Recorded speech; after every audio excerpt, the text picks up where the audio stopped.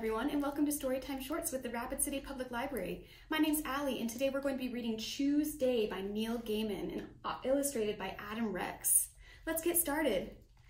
I'd like to thank HarperCollins Books for allowing us to read this online today to you. When Chu sneezed, bad things happened. In the morning, Chu went with his mother to the library. There was old book dust in the air. Are you going to sneeze? said his mother. Ah, ah, ah. No, said Chu.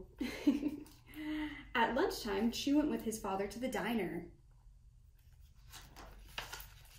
There was a lot of pepper in the air.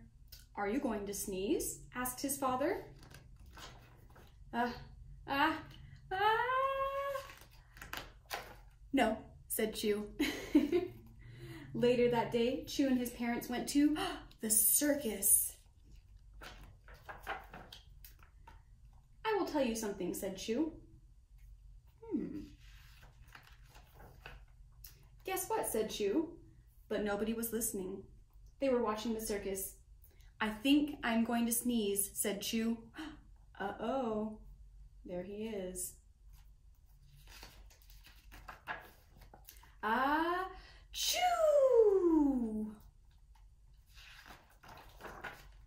Whoa, he blew away the tents, he blew away the circus, he blew away all of the balloons. He blew away everything in the diner.